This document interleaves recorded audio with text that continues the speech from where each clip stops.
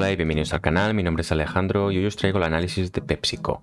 PepsiCo es una compañía que casi casi no necesita presentación, es una empresa muy conocida especialmente dentro de la comunidad de inversores. He visto muchas tesis y dentro de, en Twitter he visto mucha gente que la tiene en cartera. Por lo tanto he considerado que ahora que ha presentado resultados eh, sería muy interesante que hiciera un análisis de sus estados financieros y sus cuentas presentadas en el Q3 del 2021. Por si no lo sabíais, eh, que espero que sí, PepsiCo mantiene una gran rivalidad con Coca-Cola. De hecho, os traigo este gráfico pues para que podáis poneros un poquito en situación y veáis cómo se han desenvuelto ambas compañías a lo largo de estos últimos 5 años. Vemos Coca-Cola en color rojo, como eh, en los últimos años se ha eh, desenvuelto de una forma peor de lo que lo ha hecho PepsiCo. Bien, pues ya estamos en los estados financieros de PepsiCo. Vamos a empezar por la cuenta de resultados. Lo primero a destacar es una mejora de las ventas de un 11,59%. Además vemos como el gross profit se mejora un 8,65%.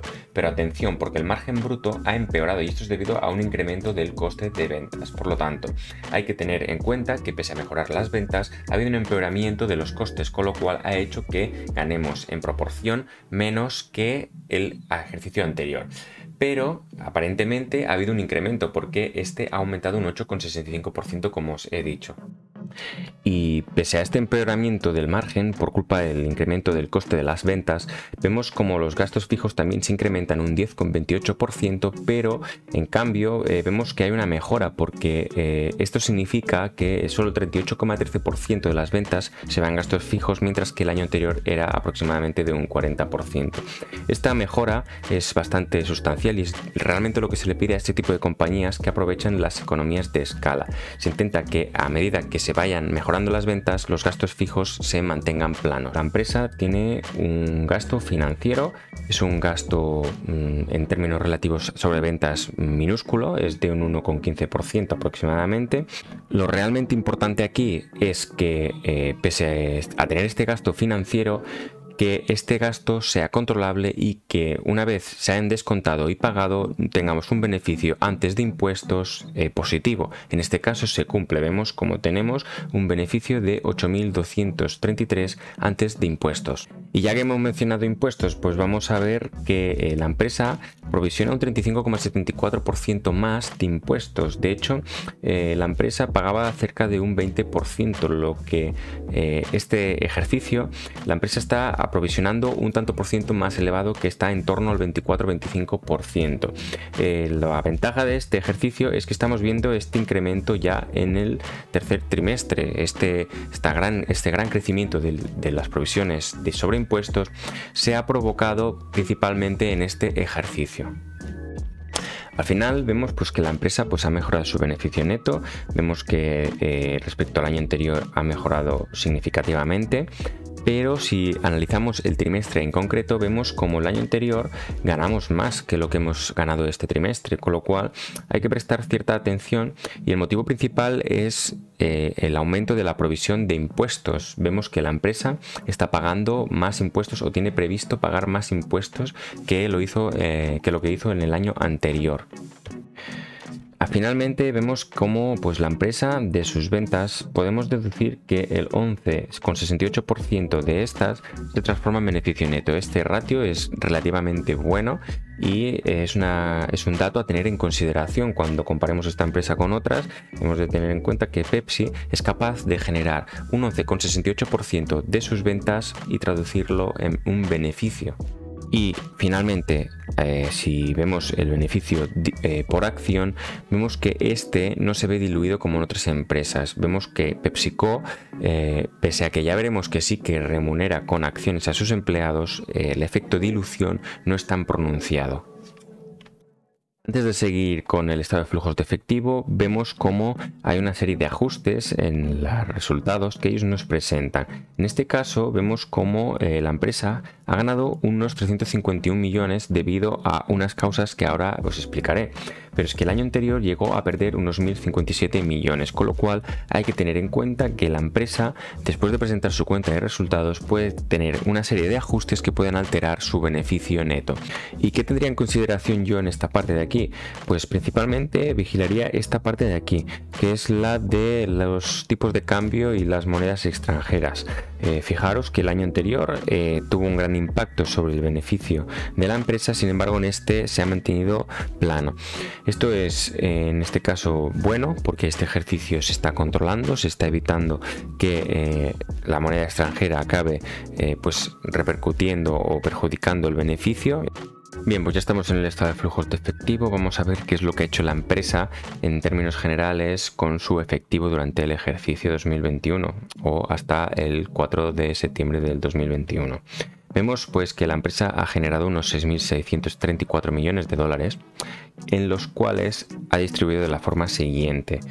Eh, ha invertido unos 1.030 millones de dólares, como vemos aquí abajo, y ha devuelto a accionistas o financieras unos 7.200 millones de dólares. ¿Qué ha pasado? Pues que ha invertido o devuelto más dinero del que ha generado, con lo cual ha hecho que su caja se vea reducida unos 1.647 millones de dólares.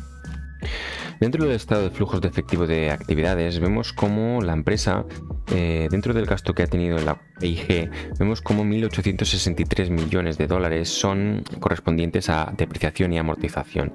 Vemos que la empresa ha invertido 2.276 millones y esto es muy positivo porque pese a ser una empresa que es, eh, digamos, vaca lechera, es una empresa muy madura, eh, está invirtiendo activamente en sus instalaciones, en su, planta y propiedad de equipo.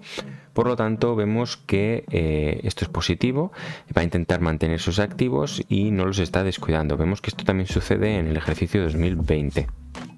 Otro punto a vigilar son las remuneraciones por planes de pensiones de empleados. Vemos que estos se incrementan.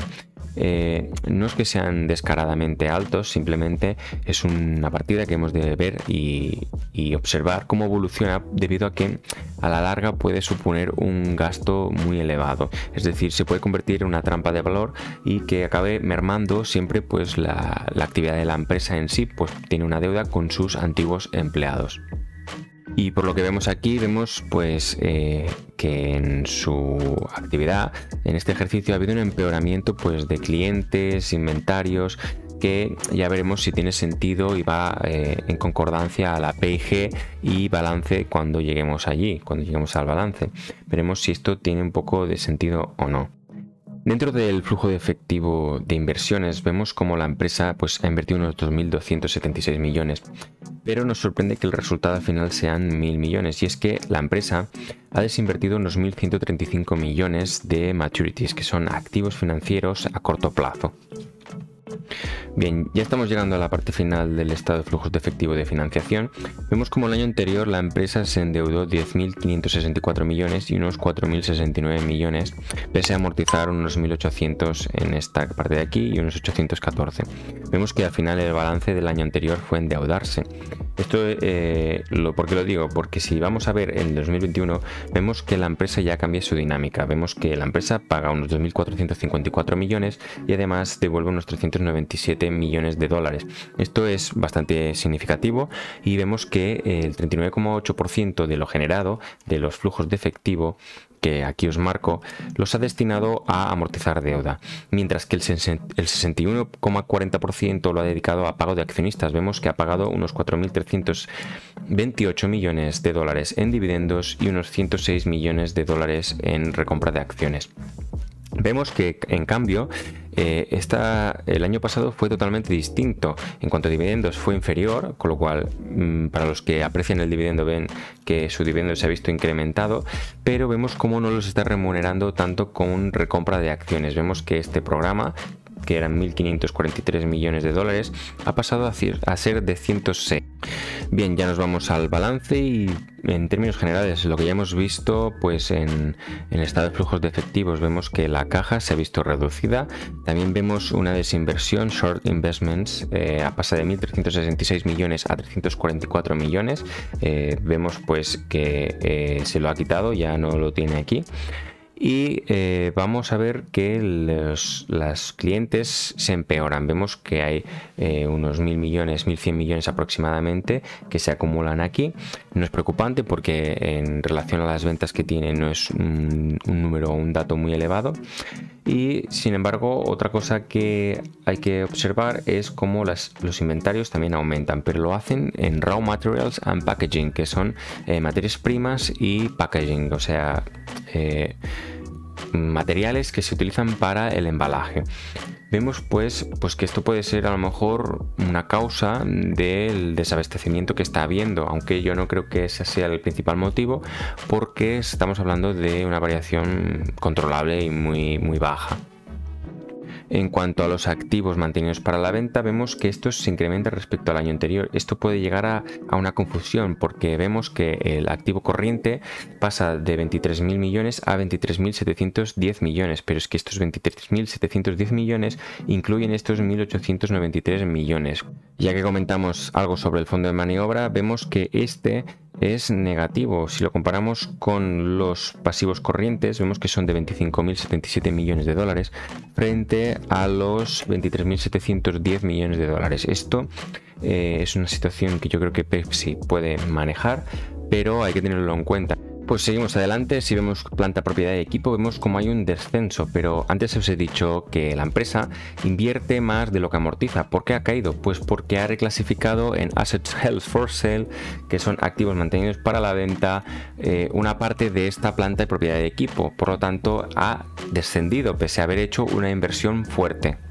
En cuanto al goodwill, vemos pues que eh, es una gran losa. Esto es eh, bien sabido por todos porque eh, y es muy típico en las empresas de este estilo. Son empresas que acaban comprando otras empresas y acaban eh, pagando un sobreprecio de, sobre estas. Necesitan comprar marcas para generar flujos de efectivo futuros. Por lo tanto, eh, es muy normal que esta partida contable esté aquí, pero hay que compararla y tenerla en cuenta contra el patrimonio neto, porque en el caso de que una de estas fuese eh, una compra mala, es decir, que se haya comprado un sobreprecio y no se pueda justificar ese en un largo plazo, pues se tendría que llevar a cabo un deterioro. Este deterioro se haría contra el patrimonio neto y por lo tanto hay que considerar y hay que vigilarlo. Vemos pues que el patrimonio neto son 15.872 eh, millones de dólares. O sea que este goodwill es superior a este patrimonio.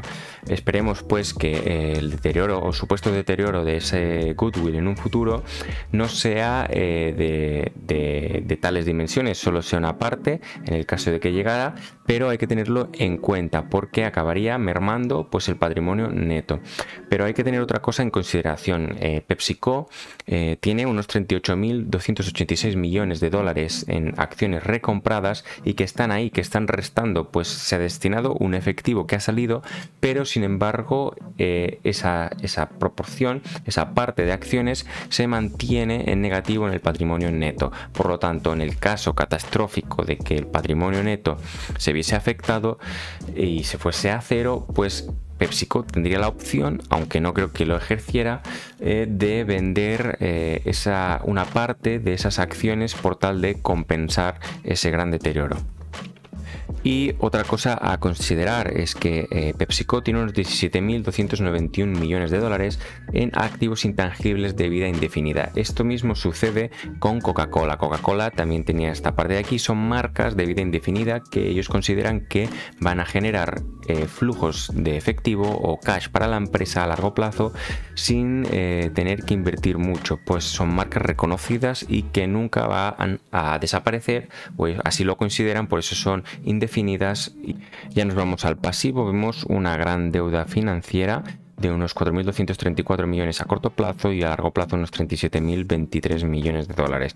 Esto supone pues un, eh, un 44,25% del activo o del pasivo y vemos pues que está controlado. De hecho pues eh, a corto plazo vemos que la empresa tiene unos 6.000 y pico millones de dólares 6.000 millones de dólares frente a los 4.234 millones de dólares. Ya veremos cómo se comportó la empresa y si en el siguiente ejercicio pues acaba pues financiando una parte de esta o qué es lo que hace. Vemos que el fondo de maniobra es negativo, por lo tanto tiene más vencimientos que eh, activos corrientes o cobros eh, cash o cobros pendientes de realizarse para hacer frente a, este, a estos pagos y aquí habrá de hacer alguna, alguna jugada pues para salir adelante.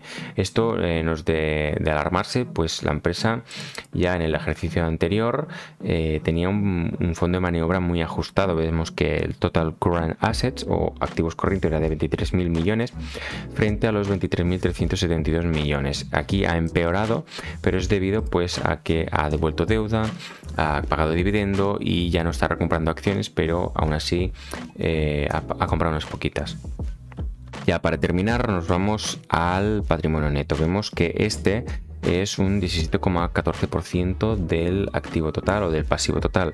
Es un, ratio bastante bajo, pero hay que tener en cuenta que la empresa tiene recompradas unos 38.286 millones de, dólares en acciones, con lo cual es una buena autocartera y eh, estas, lo malo es que se contabilizan en negativo contra patrimonio neto. Al final vemos pues eh, los ajustes que os he comentado antes de 351 millones, vemos como esta partida de aquí, que es, si os fijáis, es una partida en negativo bastante elevada, eh, acaba mejorando este ejercicio debido al menor impacto de las divisas y las revalorizaciones de planes de pensiones. Y esto se ve reflejado aquí. Además vemos pues que los ingresos retenidos eh, también crecen, pues el beneficio ha sido superior al dividendo pagado. Esto lo vamos a ver ahora en el estado de cambios de patrimonio neto. En cuanto a ingresos retenidos o reservas, pasan de 63.443 millones y reflejamos el beneficio neto. Además, repartimos 4.436 millones, con lo cual hace que tengamos un incremento de estas reservas de 65.336 millones. Además, vemos cómo tenemos esta partida negativa aquí, que son los ajustes que se han ido realizando a lo largo de los ejercicios y el ajuste que tenemos eh, este ejercicio de 351 millones, con lo cual ha habido una mejora de esta partida de aquí. Y pese a que no es muy relevante, también podemos ver cuál es el balance de las acciones que tiene recompradas la empresa. Vemos que este ejercicio solo ha recomprado unos 106 eh, millones de dólares en acciones, pero ha remunerado o compensado con stock options con 265 millones. Por eso ha habido un empeoramiento en esta partida de aquí. Vemos que eh, la compras eh, para que sean efectivas han de ser superiores a las stock options. Y aquí lo podemos ver reflejado ya que en otros análisis que hemos realizado en el canal no he podido pues determinar o explicar de esta forma cómo afectaban o no las recompras de acciones dentro del patrimonio neto este caso me ha servido muy bien porque eh, lo hemos visto aquí reflejado y eh, hasta aquí está el vídeo de hoy. Pues espero que os haya gustado mucho. Si os ha gustado suscribiros, eh, darle a like, comentar cualquier duda. Muchas gracias por seguirme. Hasta pronto.